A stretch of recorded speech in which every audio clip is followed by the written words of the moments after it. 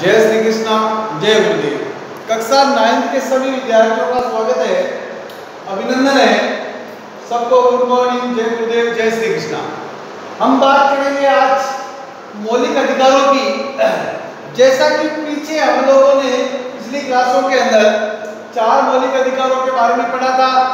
स्वतंत्रता का अधिकार, समानता का अधिकार, शोषण के विरुद्ध अधिकार, धार्मिक स्वतंत्रता का अधिकार। और आज हम लोग बात करेंगे दो दो मौलिक अधिकार बचे हुए हैं, शिक्षा और संस्कृति का अधिकार। शिक्षा और संस्कृति का अधिकार। शिक्षा और संस्कृति का अधिकार। संस्कृति का अधिकार। शिक्षा और संस्कृति के अधिकार को हम लोग 25 से सॉरी उनतीस, तीस और अंतिम जो बचेगा वो है आपके संवैधानिक उपचारों का अधिकार। संवैधानिक उपचारों का अधिकार। संवैधानिक उपचारों का अधिकार। धारा बत्तीस। तो देखते हैं, हम लोग बात करते हैं। शिक्षा और संस्कृति का अधिकार धारा 29 और धारा 30 के अंदर। तो धारा 29 कहती है धारा 29 कहती है कि संस्कृति के अंदर अल्पसंख्यक लोग जो हैं अल्पसंख्यक अल्पसंख्यक लोगों के हितों का संरक्षण, हितों का संरक्षण। अर्थात जो अल्पसंख्यक लोग हैं, जैसे मुस्लिम है, सिख है, ईसाई है, बौद्ध है, जैन है ये जो व्यक्ति हैं, इन अल्पसंख्यकों के हितों का संरक्षण या इनकी संस्कृति का बचाव, हम लोगों को बचाना उन लोगों को बचाने का अधिकार धारा उनतीस में लिखा हुआ कि वो अपनी संस्कृति का बचाव कर सकते हैं, अपने जो है, अपने आर्थिक हितों की, सामाजिक, राजनीतिक, धार्मिक हितों की वो पूर्ति कर सकते हैं। इसके इसके बाद में धारा तीस के अंदर शिक्षण संस्थाओं की स्थापना, प्रशासन करने का, अल्पसंख्यक वर्गों का अधिकार है। धारा तीस के अंदर लिखा हुआ है कि अल्पसंख्यक लोग जो हैं, वो शिक्षण, वो अपने शिक्षण संस्थाओं की स्थापना, शिक्षण संस्थाओं की स्थापना और अपने शिक्षा का प्रचार प्रसार कर सकते हैं। शिक्षा का प्रचार प्रसार कर सकते हैं। और साथ ही धारा उनतीस में ये है कि वो अपनी लिपि और संस्कृति लिपि और संस्कृति का बचाव भी कर सकते हैं। तो धारा उनतीस और तीस हमें जो है अल्पसंख्यक लोगों के संस्कृति को बचाने, उनकी लिपि को बचाने, उनकी संस्कृति का संरक्षण प्रदान करती है। धारा तीस के अंदर है कि अल्पसंख्यक लोग जो है, अपने धर्म के लिए शिक्षण संस्थाओं की स्थापना कर सकते हैं और अपने धर्म की शिक्षा का प्रचार प्रसार कर सकते हैं। ये बात लिखी हुई है धारा उनतीस और तीस के अंदर। अब जो है, सबसे इंपॉर्टेंट संवैधानिक उपचारों का अधिकार। संविधान के अंदर भारत का जो संविधान सन उन्नीस में बनकर तैयार हुआ और 1950 के अंदर जो लागू हुआ था। डॉक्टर भीमराव अंबेडकर ने दो वर्ष, ग्यारह माह अठारह दिन की कड़ी मेहनत के साथ इस भारत के संविधान का जो निर्माण किया था, अब वो संविधान के कुछ नियम तो उस समय के अकॉर्डिंग बनाए गए थे। लेकिन अभी हमें इस संविधान, इस समय में कुछ और अधिक चीज़ों की ज़रूरत पड़ती है।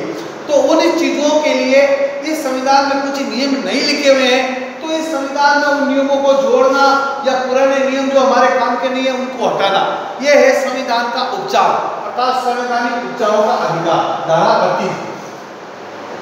जैसे एक बात आती है हमारे सामने पुनर्वलोकन तो पुनर्वलोकन जो होता है, यानी कि कोई आपके हाई कोर्ट, सुप्रीम कोर्ट अपना आदेश देता है। उस आदेश के ऊपर वापस पुनर्वलोकन करता है तो उसका आधार धारा बत्तीस ही लेती है तो संवैधानिक उपचारों का अधिकार धारा बत्तीस में है और डॉक्टर भीमराव अंबेडकर ने इस धारा को, इस अधिकार को संविधान की आत्मा कहा है। भारतीय संविधान की आत्मा धारा बत्तीस। संविधान की आत्मा धारा बत्तीस। डॉक्टर भीमराव अंबेडकर ने, बी आर अंबेडकर ने इसको कहा था।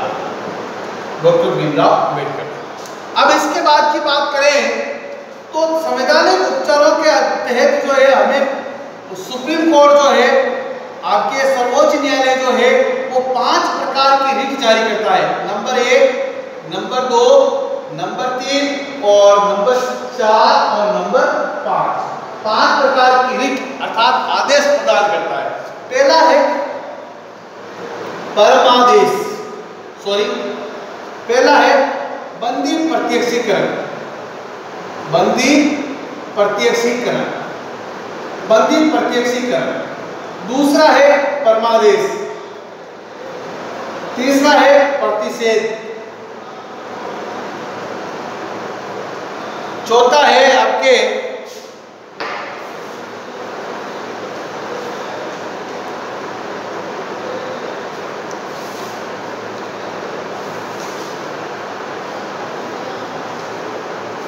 उत्प्रेरणा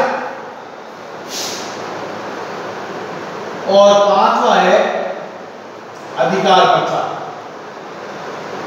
ये पाँच प्रकार की रिटें जारी की जाती है सुप्रीम कोर्ट और हाई कोर्ट के तहत। सुप्रीम कोर्ट भी ये पाँच प्रकार की रिट जारी करता है और हाई कोर्ट भी ये पाँच प्रकार की रिट जारी करता है। तो बंदी प्रत्यक्षीकरण क्या चीज़ है?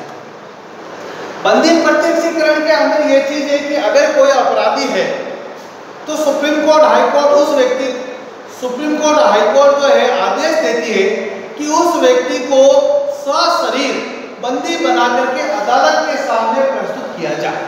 पहला तो यह आदेश, जिसको हम लोग क्या कहते हैं? बंदी प्रत्यक्षीकरण कहते हैं। सशरीर उस व्यक्ति को गिरफ़्तार करके उसको हाजिर किया जाए या उपस्थित किया जाए। दूसरी है परमादेश। परमादेश का मतलब यह है कि सुप्रीम कोर्ट, हाई कोर्ट जो है अपनी निचली अदालतों को आदेश देती है कि अगर वो जो है अपने कार्य क्षेत्र में सही ढंग से कार्य नहीं करते तो सुप्रीम कोर्ट, हाई कोर्ट अपनी निचली अदालतों को, सुप्रीम कोर्ट, हाई कोर्ट को, हाई कोर्ट, जिला कोर्ट या अन्य कोर्ट को जो है आदेश देती है, जिसको हम परमादेश के नाम से जानते हैं। इसके बाद में आता है प्रतिषेध। प्रतिषेध का मतलब ये होता है कि अगर जैसे निचली अदालत ने निचली अदालत ने अपने कार्य क्षेत्र से बाहर जाकर के अगर कोई कार्य किया है, जैसे उसका वो अधिकार क्षेत्र ही नहीं तो ऊपर वाली अदालत जो है, नीचे वाली अदालत को जो है आदेश देगी और उस काम को करने से उसको रोकेगी। मतलब ये है कि काम अभी हुआ नहीं उस काम हो रहा है और उसको होते हुए काम को रोकना, ये कहलाता है प्रतिषेध। प्रतिषेध का मतलब होता है रोकना। काम हुआ नहीं, रोकना।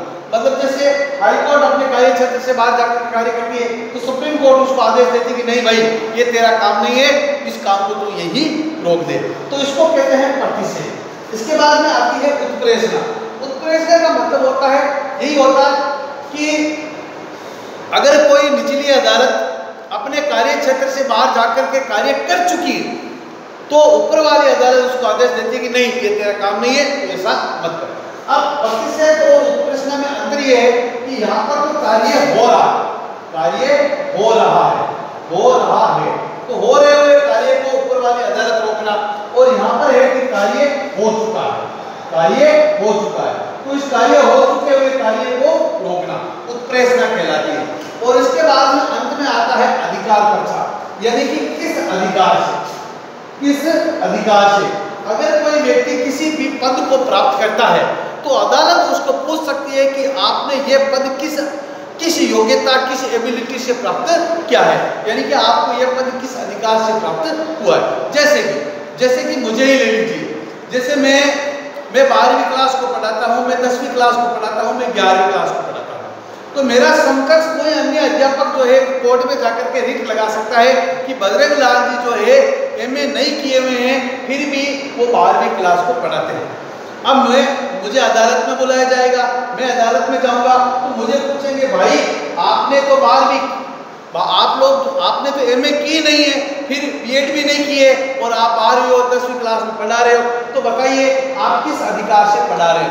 तो मैं बताऊँगा, साहब, देखो, मेरे पास ये एमए की मार्कशीट है, ये बीएड की मार्कशीट है, और मैंने एमए भी किया है बीएड भी किया है बीए भी किया है। तो मैं इस पद के योग्य हूँ, और इस कारण मैं यहाँ पर पढ़ाता हूँ। तो इस प्रकार से सुप्रीम कोर्ट जो है, अगर मेरा वो मार्कशीट वगैरह सही होगा तो मैं बिल्कुल अपने जगह पर सेफ़ हूँ और नहीं